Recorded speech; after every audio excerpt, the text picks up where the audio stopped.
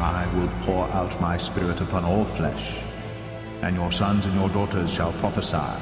Your old men shall dream dreams, your young men shall see visions. And also upon the servants and upon the handmaids in those days will I pour out my spirit.